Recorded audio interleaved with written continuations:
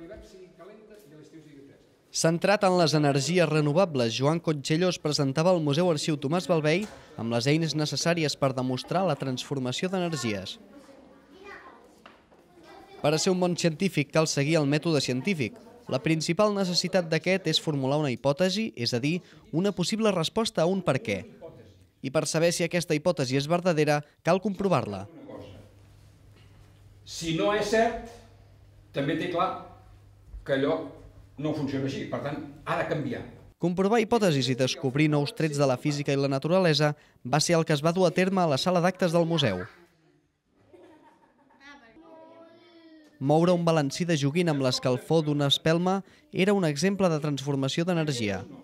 També van poder descobrir com produir escalfor per mitjà de fregament i també com fer funcionar un receptor de ràdio amb l'energia elèctrica produïda amb una dínamo de bicicleta.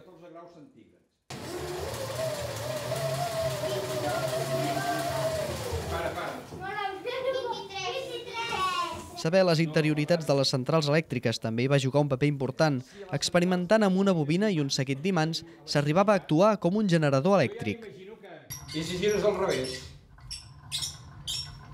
Per acabar es va conèixer com funciona el so i es va descobrir com produir-lo amb calor, fent-la passar per uns tubs.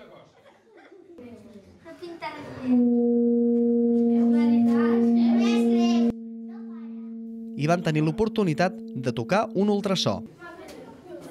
No tan avall, no tan avall. Ai! Va, decanta't. Va, aneu passant.